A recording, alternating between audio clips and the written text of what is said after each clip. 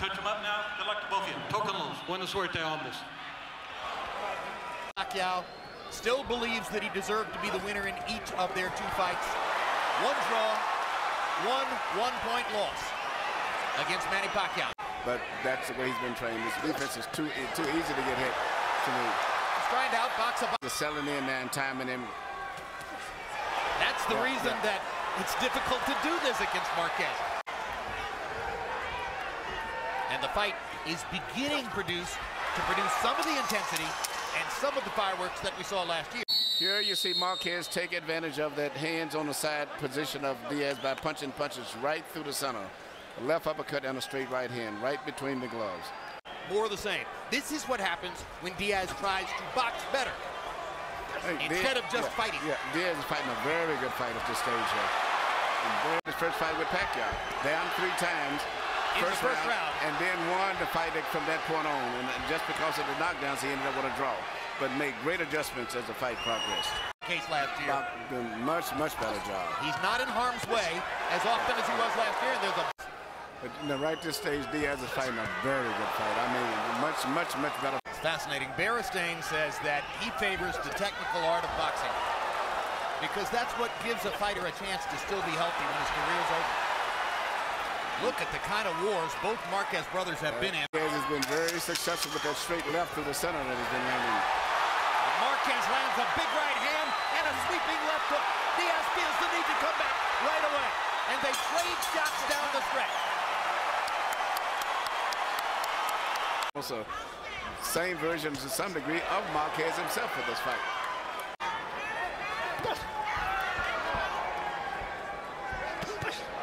Terrific uppercut by Marquez. Wobble Diaz. Diaz is still hurt. Still doesn't have his legs all the way back. Marquez measuring. Hard right.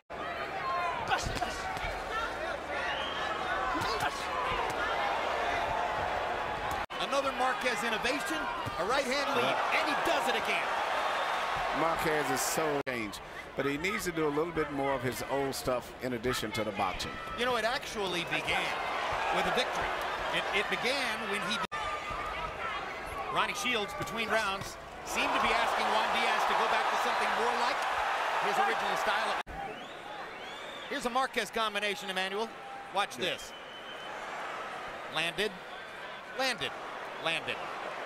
A great offensive fighter is you've got to be unafraid of getting hit, unconcerned about it. Marquez clearly fills that bill.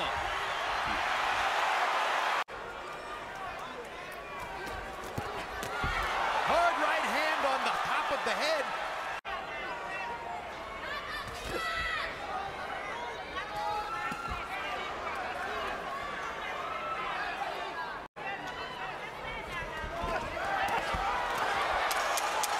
Diaz landed a Well, I want to just go the distance, not get knocked out. I can keep doing what I'm doing, what I'm doing. And if I want to go for the victory, now is the time I will. You knows, you know he's in big trouble. It's the constant accuracy of Marquez. It's the fact he lands so many punches. I can get hit no, so he's not throwing too many hooks, all right hands. With a brain like his and a life like his, he shouldn't take any chances. I would like to see him open up a little bit more the last round. I think he would do much better than he thinks. Diaz, Marquez with a 56 to 15 connect advantage according to CompuBox in the last two rounds. And as, as a good left hook by Diaz. He got an opportunity and he Marquez. And no one is taking the kind of punishment that he's taking with Darius fight with Nate Campbell. In this even though he's still a puncher, but I still think he's a little more vulnerable. Yeah, in this round, clearly Marquez's intensity has dropped. Perhaps because Nacho Beristain keeps telling in between corner or in the corner between rounds that he's winning every round. If you hear the trainer say that enough, after a while you figure, well, of the fight, Juan Diaz stood on the outside, tried to win it with a left jab, and was totally unsuccessful because Juan, Juan Marquez out. You have to expect to some degree when you have so many fights like that.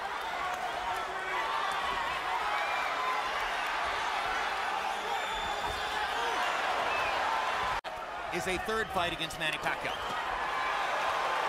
I think this is still, even though he'll lose a decision, I think, me personally, I think inside Diaz, on to law school. It was one thing to fight and conduct a boxing career as an undergraduate. It would be another thing to try to do that while going to law school. A brilliant finish for the two fighters who produced the fight of the year last year. This will not be a candidate for the fight of the year. From the Mandalay Bay, Las Vegas, we go to the scorecards. Jerry Roth, 116, 112. Glenn Trowbridge, 118, 110. Patricia Morse Jarman, 117, 111.